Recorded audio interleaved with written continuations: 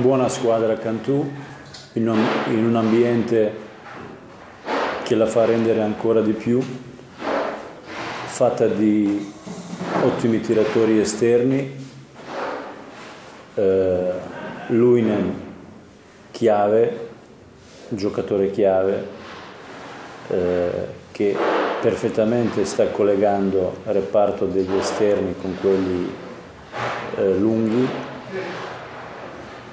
e certamente giocatori di altissime specialità come Cusin, eh, Raglan, Gentile, Jackson, che con Aradori ciliegina sulla torta, tutti a disposizione, chi più stanco, chi meno stanco, perché queste due settimane le abbiamo sfruttate anche per per caricare un attimino in più per, in ottica del, del, fine del campionato, visto che non avremo neanche altri,